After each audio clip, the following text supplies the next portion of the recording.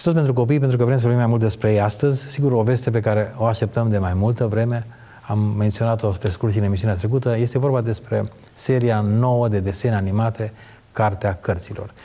De când s-a înființat canalul Alfa Mega TV de mai bine de 10 ani de zile, dumneavoastră în fiecare zi urmăriți de la ora 9 dimineața uh, și în reluare de la ora 4 după masă cele jumătăți de oră, cele 52 de episoade din seria veche uh, Cartea Cărților, uh, ați urmărit și o prelungire a acestei serii Casa Zburătoare și urmăriți în continuare și vrem chiar să o difuzați în continuare pentru că generații uh, au urmărit sau au fost binecuvântați, au învățat, au studiat, au fost provocați de cuvântul Scripturii prin aceste serii de desene animate. Iată că Dumnezeu a îngăduit ca tot prin Alfa Omega TV noua serie de desene animate produse de cei de la CBN, Christian Broadcasting Network, uh, într-o formulă dinamică, modernă, într-o animație de ultimă oră să fie prezente în limba română, uh, dublate, cu uh, sincronizate în limba română. Sunt producții, într-un fel, eliminamente românești pe care ne bucurăm să le oferim aici în România. Uh, desigur că premiera, îi spunem eu premieră, pentru prima dată pe un canal de televiziune, primul, un, primul episod, cel care se referă la la început se numește primul episod, pentru că vorbește despre începuturile Scripturii, este inspirat din Geneza. Primul episod va fi difuzat în premieră națională pe canalul Alfa Mega TV uh, în ziua de sâmbătă la ora 9 dimineața și în reluare după masă la ora 15. Uh, va fi aceeași, aceeași formulă, aceeași schemă, duminică dimineața la ora 9 și reluare la ora 15, un scurt trailer, un scurt promo la acest eveniment, zicem noi, cu mare semnificație pentru trei generație din România.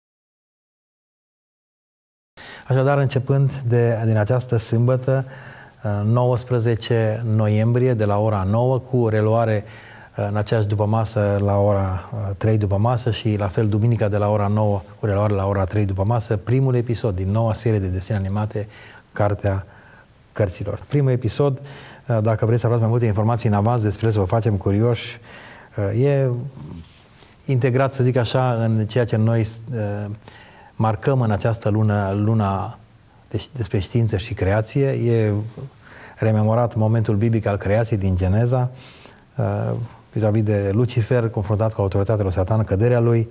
Uh, copiii învață despre consecințele neascultării lui Adam și Eva și despre, în același timp, despre dragostea necondiționată a lui Dumnezeu.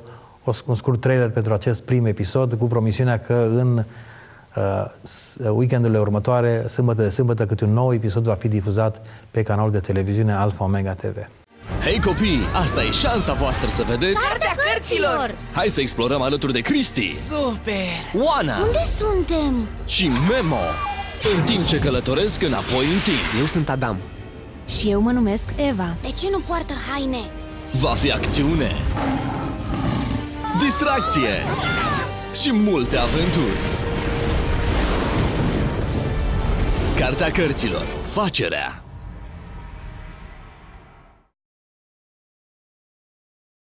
Un prim episod, o premieră națională pe canalul de televiziune Alfa Mega TV, începând de sâmbătă, 19 noiembrie, de dimineață la ora 9, pentru prima dată pe un canal de televiziune din România, acest prim episod în Cartea Cărților. În această primă serie sunt 13 episoade. Uh, numeroase stații de televiziune la, cu, cu un decalaj de o săptămână, două vor relua și vor difuza aceste episoade, stații de televiziune cu care noi colaborăm în România, stații locale.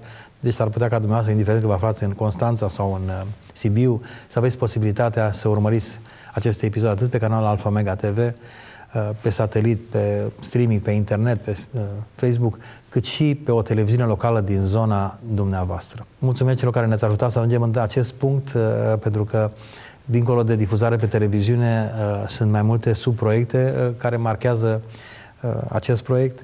E o dezvoltare pe internet pentru copii, specializată pentru copii, care este într-o fază avansată de lucru și va fi disponibilă în câteva zile. Și, bineînțeles, sunt și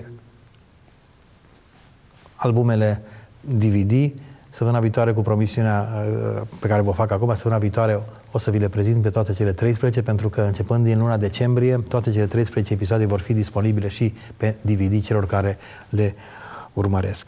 Și de pe acum uh, vă prezint site-ul pe care aflați mai multe despre acest proiect. Uh, la zi, site-ul este actualizat în permanență.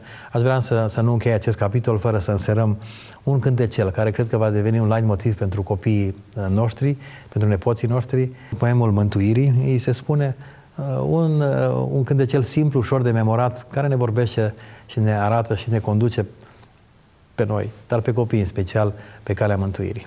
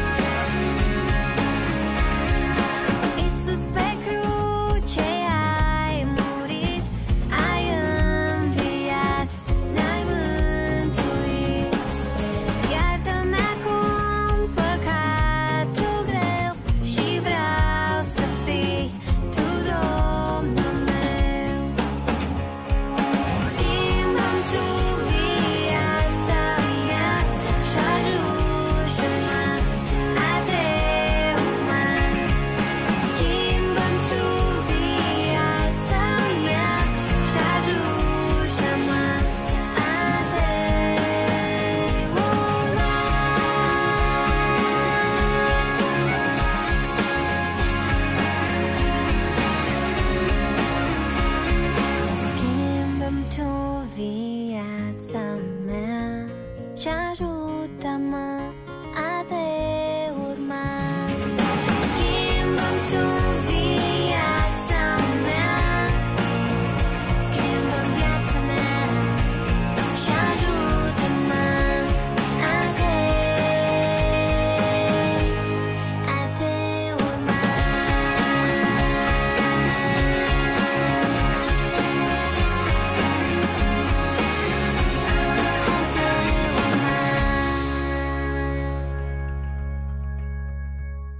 Și o ultimă informație, desigur că este și un, o pagină de Facebook atașată acestui proiect, aveți afișată pe ecran, intrați acolo, veți afla proaspăt informații despre derularea acestui proiect. Încă o dată vă mulțumesc celor care ne ajutați uh, să, să promovăm acest proiect în România, să-l facem disponibil. Credem noi că e voia Domnului ca prin aceste, această serie de programe și prin alte pro- proiecte pentru copii să atingă inima unei generații întregi de copii care, iată, se confruntă în sistemul de educație actual, în sistemul de învățământ cu alternative care nu cred că sunt uh, de la Dumnezeu.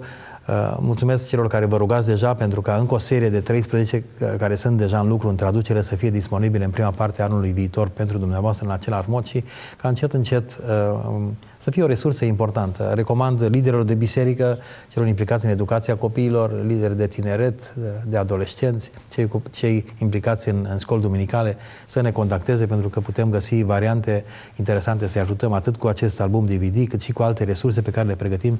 Vă voi prezenta mai mult într-o emisiune următoare.